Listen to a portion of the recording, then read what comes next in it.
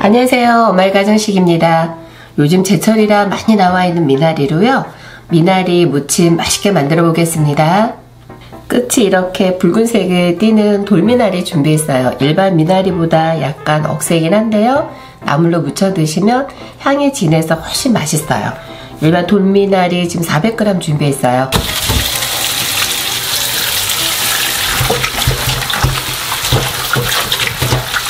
끝에도 흙을 제거하면서 그 먼지 같은 게 있어요. 이런 거 제거하면서 잘 씻어주세요.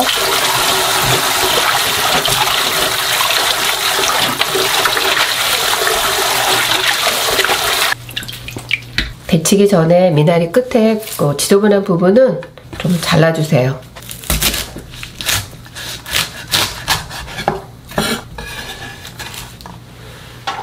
미나리가 아직 제철이라서 생각보다 억세지 않아요. 이렇게 해서 살짝만 데칠 거예요. 미나리를 데칠 거예요. 끓는 물에 소금 반 스푼 넣고요. 설탕 반 스푼 넣을 건데요. 미나리를 사가지고 오는데 할머니께서 얘기해 주시더라고요. 소금만 넣지 말고 설탕을 꼭 넣어서 데쳐보래요. 그러면 미나리가 더 부드럽고 연하고 예쁘게 데쳐진대요. 그래서 저도 오늘은 설탕을 조금 넣었어요. 전 줄기부터 금방 데쳐지지 않는 부분부터 먼저 넣어서 데칠게요. 나머지 잎부분도 모두 다 넣어서 데쳐줄게요. 1분 10초 정도 데쳤어요.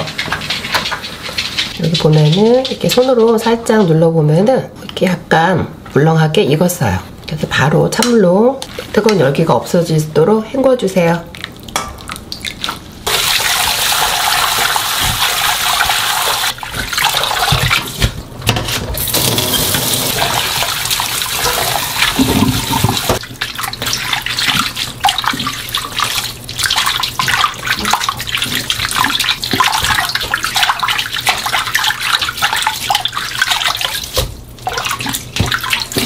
데친 미나리 물기를 손으로 꼭 짜주세요. 잘라도 이제 물기가 더 나오는데요. 먼저 자르기 전에 한번 손으로 물기를 꼭 짤게요.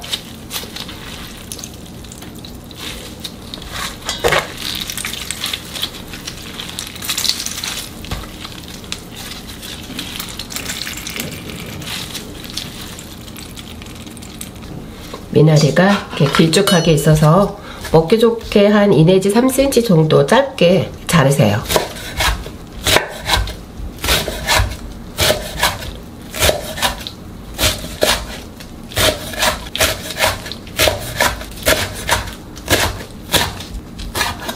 잘라놓은 미나리를 한 번 더 손으로 꽉 이렇게 짜보세요. 그러면은 짜서 잘랐는데도 물기가 또 나와요. 손을 한 번 더 꼭 짜주세요.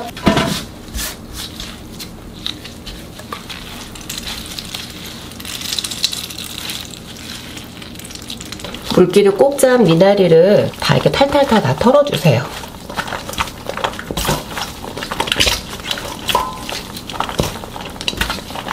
여기에 참치액 한 스푼 넣을게요. 마늘은 한 작은 술만 네, 넣어주세요. 그리고 저는 오늘은 맛소금을 할 거예요. 맛소금 집에 다 있으시잖아요. 맛소금 반 작은 술만 넣을게요.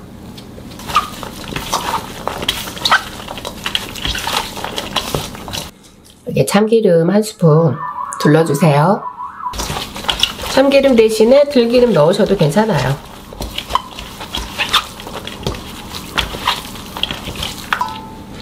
마지막으로 깨를 넣을 건데요. 고소하게 조금 더 빻아서 넣어주세요.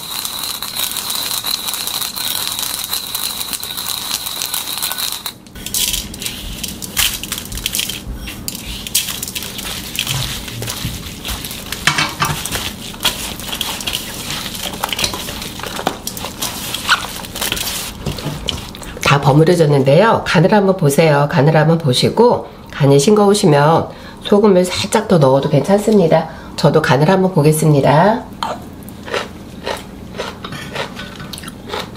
간 더 하지 않아도 괜찮은 것 같아요. 아주 향긋하고 맛있어요. 지금 면역력에 제일 좋은 뭐 해독작용도 하고 간에도 좋잖아요. 미나리 많이 묻혀서 드시면 좋을 것 같아요.